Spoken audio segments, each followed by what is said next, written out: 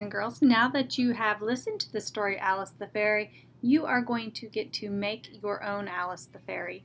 To do this project, you will need crayons, glue stick, and scissors. So if you need to get those things, you can pause the video and go get those things now. When we're ready, you'll also need these papers that are provided by your teacher. And our first step is going to be to cut out all of these pieces. Make sure that you cut carefully along the black lines. Remember when we cut, our scissors are always pointed out from your body and we open and close those scissors. We always turn the paper instead of turning our scissors. Okay, so our scissors are always pointed out from our body and we maneuver the paper, turn the paper with our other hand. Okay? So right now I'm going to ask you to pause the video and cut out, make sure you cut out all of the pieces. There is a crown and a star. Here is Alice's dress. Here are her wings. When you cut out the wings, make sure you go just around the outside, follow this outside line. We're not going to cut up the middle. We're not going to cut out these other lines, but you're going to cut just around the outside of that paper. And then you see Alice's face, her two arms, and her two legs.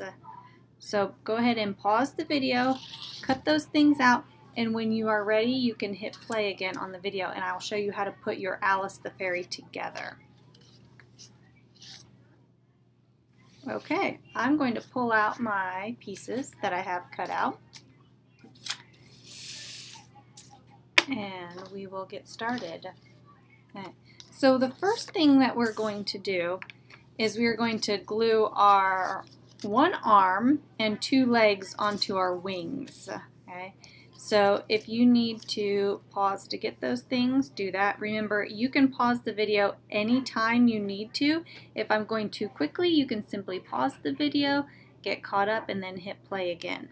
So what I want you to do is you're going to find the pieces that fit onto your wings.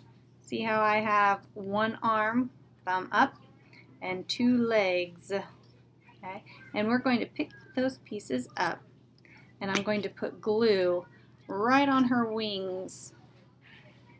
I'm going to fill it in and then I can stick that hand down right on the wing just like that. I'm going to push it down so it stays. Okay. And then I'm going to go down to the bottom and in that rectangle I'm going to fill that rectangle in with glue and I'm going to put my first leg. Notice that the toes are pointed to the left. Okay? And I'm going to go to the next leg and I'll fill in that rectangle. Okay? And again, the toes are pointed to the left. Both feet are pointed in the same direction. Great job. Okay. Now that we have the arm and the two legs glued down, we can find Alice's pink dress. So if you would find Alice's pink dress, you can kind of lay it down and see how it's going to fit on her wings. Uh, we want wings to stick out on both sides of her pink dress. So let's see, maybe like just like that. Okay. So I'm going to turn over her pink dress and I'm going to put glue on the back of her pink dress. Okay, but there's a little bit that sticks up over here. I'm not going to put any glue there. And there's a little bit down here at the bottom that sticks out, so I'm not going to put any glue there. That way I don't glue my dress down to the table. So I'm going to turn it over, and I like to outline where I'm going to glue. So again, notice I left a little bit at the top and a little bit at the bottom, and then I can put a big X on my paper, and that should be enough glue to hold my dress. Right, I'm going to stick down Alice's dress. Again, I'm going to rub it, rub it, rub it get it nice and stuck on my paper. Okay. Now, if you need to push, push pause and get caught up, go ahead and do that. We're going to move on to Alice's face. So you need to pull out Alice's face and then you need to find the scraps of paper that you have left from cutting your yellow stars out because you're going to use those scraps of paper to create hair for our Alice. I've already done that. I've cut mine into strips of different sizes so that I can glue her hair down. So go ahead, you can, let me show you how I'm going to do that. You can pause the video and take a few minutes to cut out her yellow strips of hair so that we can glue them down. I'm going to give her some short bangs and a couple long pieces of hair, just like that.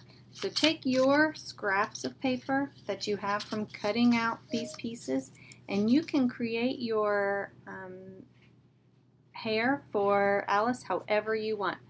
I'm going to go ahead and glue that down. If you need to pause the video, go ahead and do that now.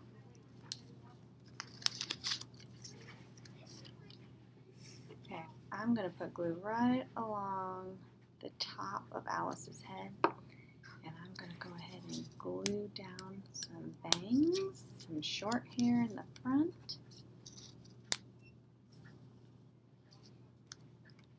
And then I've got some long hair on the side. And it's okay if it sticks up a little bit. We're going to put our crown on next. I'm going to put a little bit more glue there. Just like that.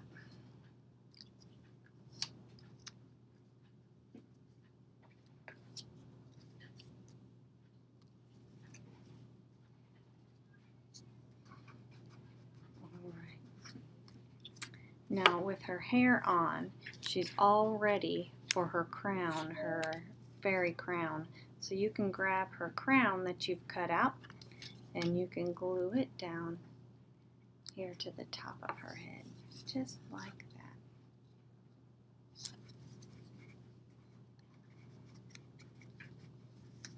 All right, when you've got her hair and her crown, I hope you notice that her eyes are missing. So this is where you can take out your crayons and you can find the black crayon or maybe you want her to have blue eyes. You can draw some eyes on our on your fairy, Alice the fairy. So I'm going to put a couple eyes on my fairy. Now she looks better. All right, with her face all done, we can glue it down on her body.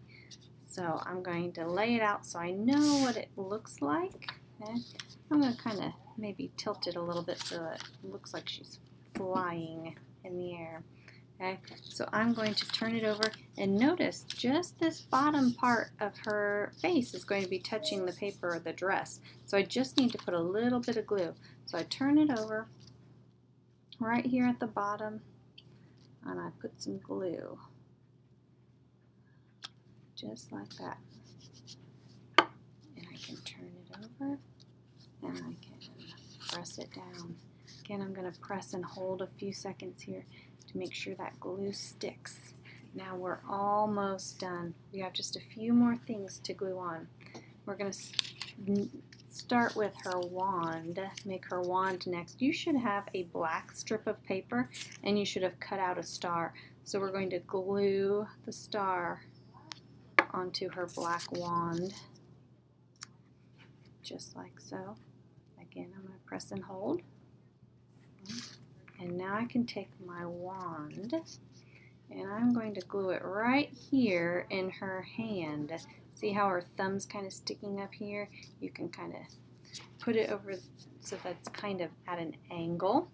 So you notice again, the black part is going to be touching paper, so we can put glue all in the black part. I would not put any glue on your star, or else you'll glue your fairy to the table. So turn over the black, the black part. I'm not going to glue where the star is. I know that's kind of difficult to see, but let's try this. All right, I'm going to start right here at the bottom of the star and put glue to the end of my black stick. And then I can glue down my fairy wand.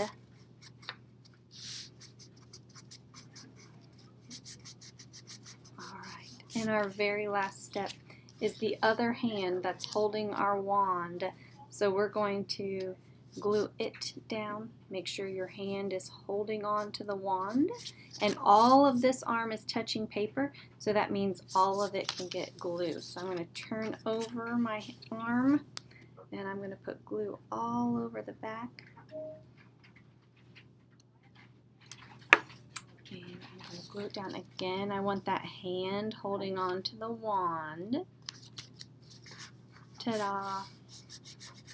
All right, and now you have a completed fairy. But before we're finished, we're going to make sure we turn it over because it's not the same without your name. And make sure you put your name on the back of your fairy.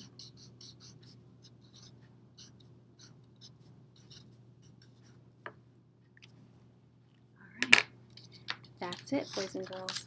Remember, you can listen to this video as many times as you need to. You can pause it when you need to. You can restart it anytime. Make sure you do your very best. Slow down and cut on those lines very carefully. I look forward to seeing your finished berries.